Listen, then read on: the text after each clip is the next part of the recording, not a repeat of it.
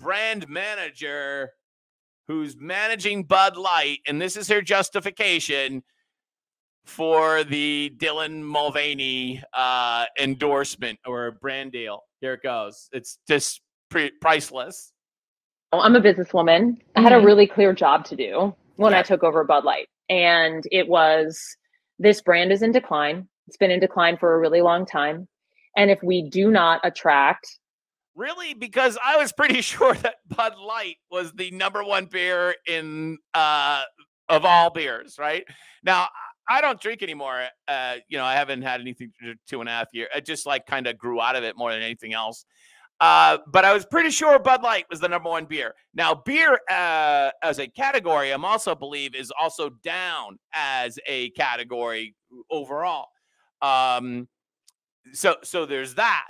But I don't think that Bud Light is of of the most suffering ones. I don't have the statistics on that, but I'm pretty sure Bud Light is the number one. By the way, by the way, Bud Light stinks, and I mean I, I've certainly had uh, Bud Light before, but I was a Bud Bud guy, uh, regular Bud, not Bud Light. Not I, in a pinch, I'd have a Bud Light, but I would buy Bud, right? Yeah, buy the buy the leaded, as I would call it. Young drinkers to come and drink this brand, there will be no future for Bud Light. So I had this Oh no, no future for Bud Light. We have to get young drinkers. Just it sounds like we have to get it just sounds like a tobacco executive from years ago. We have to get young smokers. super clear mandate. It's like we need mm-hmm. to evolve and elevate this incredibly iconic brand. And my what I brought to that was a belief in okay, what is what is what is And why is it iconic? Because of the advertising. They've had brilliant advertisings, right? Remember the I, I think it was the frogs, right? Bud, Bud, Bud Light.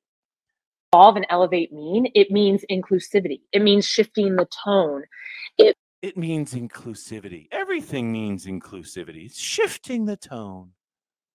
means having a campaign that's truly inclusive and feels lighter and brighter and different and appeals to women and to men. Because before it was dark and mysterious and dangerous. Now it's lighter, brighter, and different.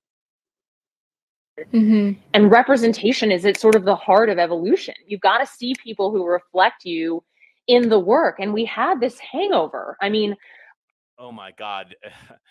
You've got to see people who, re- uh, uh, uh, this is like straight out of the, uh, this is like some university class. That's exactly what it is. I think she's about to use the word hangover. Hold on a second. I think she's about to use the word hangover.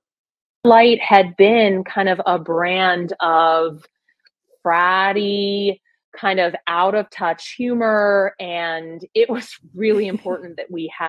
Fratty, Fratty out of touch humor. She's basically just throwing her entire audience that drinks Bud Light, the people who drink Bud Light right now, under the bus, under the bus. another approach.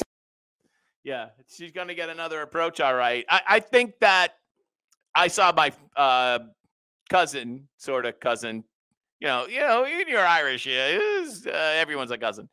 Um, drinking a Bud Light, and I didn't say anything to him because you know it just wasn't the appropriate time. Uh, but we did talk about it later out in the driveway, and it, it, there's going to be some backlash here. There's definitely going to be some backlash here. Uh, Clay Travis, oh, holy shit! Bud Light's head of marketing, who probably doesn't even drink beer, says she had to rescue Bud Light's brand from a frat guy party image by paying chicks with dicks to be more inclusive. uh, there were a lot of uh, directions that they could have went with uh, Bud Light here, but they chose to go in this direction, which is just like absolutely astounding. That that this is this is what they chose to do. Uh, you know, you wonder. It, it- makes you wonder. It makes you wonder uh, where where these people come from, and I think we know where they come from. If we ever pulled that uh, Bud Light brand manager, we pulled her uh, resume, so to speak. She probably went to some leafy liberal college. She probably went to Wellesley or someplace like that. That's where they learn all of this, right? How to hate your audience, how to how to hate Americans, right? The the effective message of the Democratic Party and the far left is that we hate you, we hate you, we hate America, we want to change America to be uh, not what it is now. We don't want, and effectively, they're enemies of uh, capitalism. They hate capitalism.